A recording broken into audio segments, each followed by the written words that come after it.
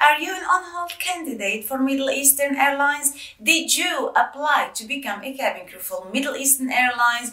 Or do you want to become a cabin crew with them, a fresher cabin crew? Then this video is for you because it contains a lot of recruitment status and updates. So if you're interested, keep on watching and let's start.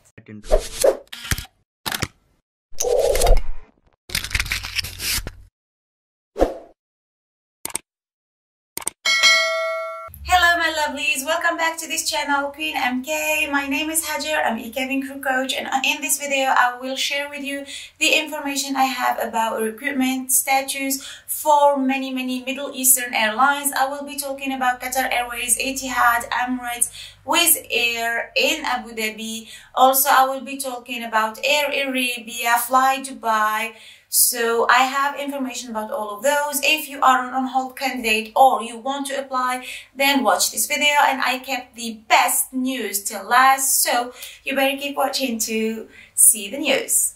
Maybe you've never applied, so you don't know the meaning of on-hold candidates. On-hold candidates are the people who applied already for the job, but then the company said okay to them, you are selected, but then they did not give them a date of joining. And we all know that there are some travel restrictions. And also because of the virus, things are really, really slow. They're not recruiting cabin crew. And also they fired some of the cabin crew. So I explained on hold candidate because many of you are not on hold candidate and maybe you don't even know the meaning of on hold and let's get right to it. I will first start talking about Wizz Air. I'm not talking about the Wizz Air which is located in Europe but I'm talking about the branch located in the Middle East, exactly in Abu Dhabi.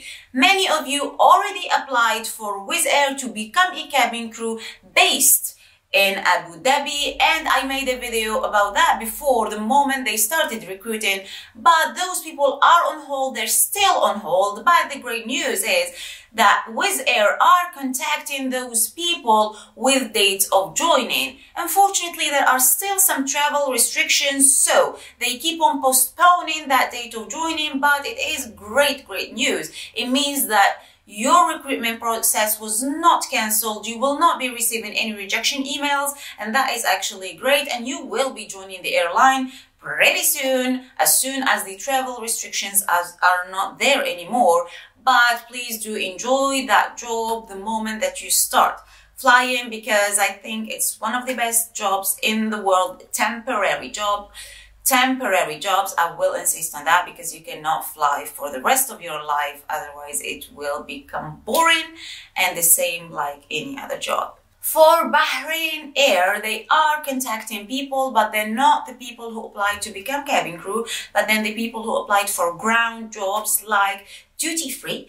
And most of those people are actually Tunisians. I was actually surprised. Huh, Tunisians, really. So they're looking for Arabic speakers from north of Africa if you want to apply for those kind of jobs please do apply. But then here they're contacting the, they're contacting them with dates of joining and those people will be traveling soon to bahrain to work in the airport. What do i think about ground jobs? They suck I don't really recommend people to work in the airport unless they have another goal. Which means if you start working with the airline in a ground job, then you will keep on working on yourself to become a cabin crew because I know that many people applied for ground jobs to become a cabin crew eventually, but then they're still stuck in that job for years and years and years. And I don't want that for you. The salary is horrible. The way they're living is not that good, it's not that glamorous, and you will not be enjoying the part of being a cabin crew, of working with a glamorous airline because you will not be seeing the world. Let's move to Etihad. I don't know if you know Etihad, but then Etihad is actually a decent airline. I think it's a five stars airline. I'm not really sure, but then it's a really nice airline. The uniform of the cabin crew is amazing. Also, the rights of the cabin crew are quite cool. Do you know that it's one of the fewest airlines that allow beer to the guys? So that is actually amazing. The grooming standards are quite flexible and they do fly all over the world. So it's quite cool. It is actually based in in Abu Dhabi, which is around one hour drive if you're not a fast driver from Dubai. It's quite cool. And actually, they started sending emails to the people who applied to become a cabin crew with them, the positive emails with dates of joining. So this is an amazing news for the people who want to become a cabin crew with Etihad, the people who applied to become a cabin crew with Etihad. So please, when you start flying, enjoy Do not really focus on the negative sides like we all do, I guess. I spoke about the positive side for Etihad, but then there is a confusing side, I guess. But who am I to be confused? You tell me if it confuses you or not.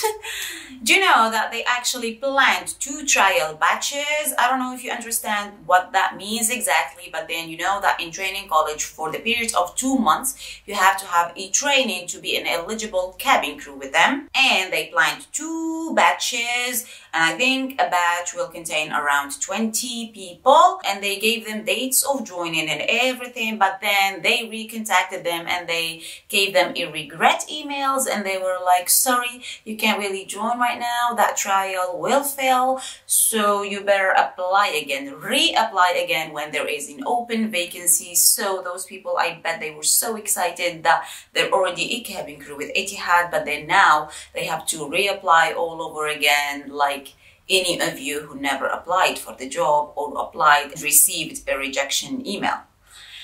Hmm, that's actually bad.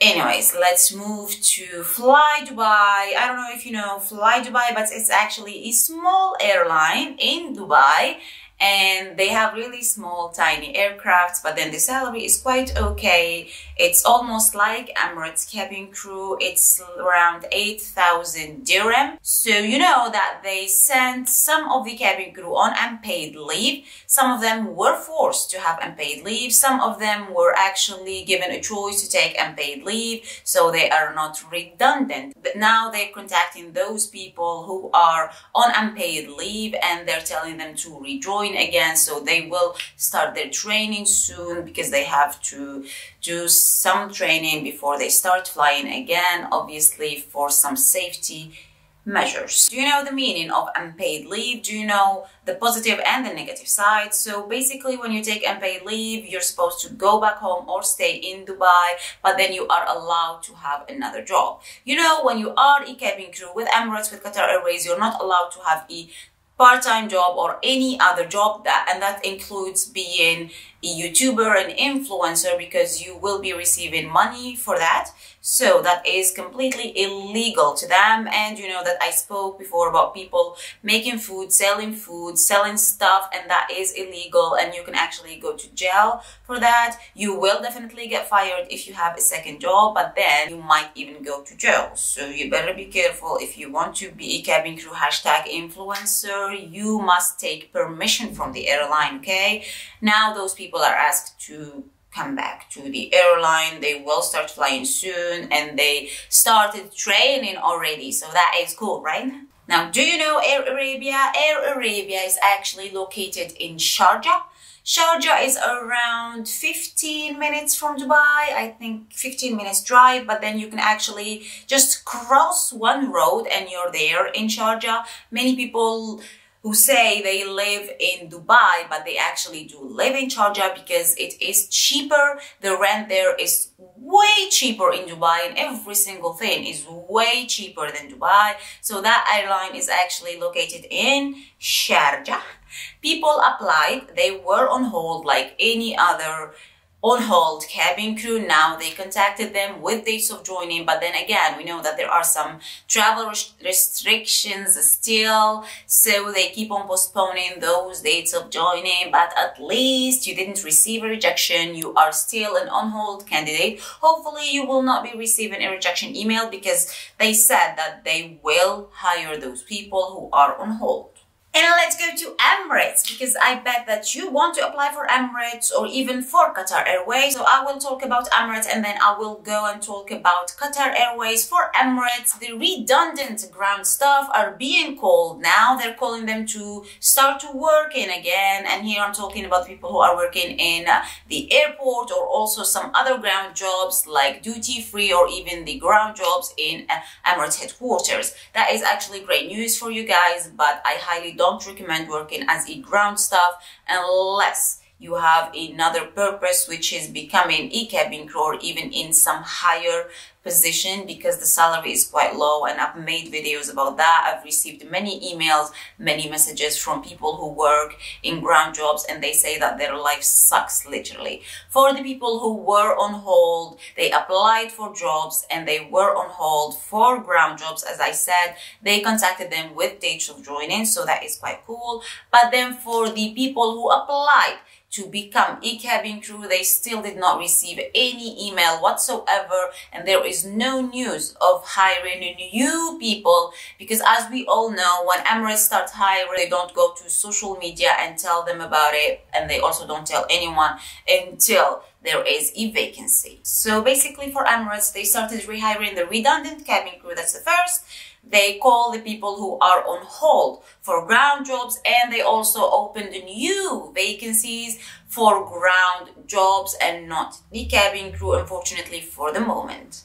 Let's go and talk about Qatar Airways. Qatar Airways is actually pretty active right now. I made a video about that before and I said that they hired some of the redundant cabin crew, but they were told to stay um, silent about it and they're not supposed to even tell their family members or their friends or social media obviously. But not just that there are many news about Qatar Airways. The crew who were asked to take unpaid leave now they're asked to come back to Doha and do work again as e-cabin crew. So they they will start their training again pretty soon. Also for the people who were stuck out station because you know guys that some of the cabin crew unfortunately were on leave before all of this virus started and then they were stuck in those countries in their home country or even they were on vacation so they were pretty stuck and they could not get them back to Doha so they are not working for around a year now now those people are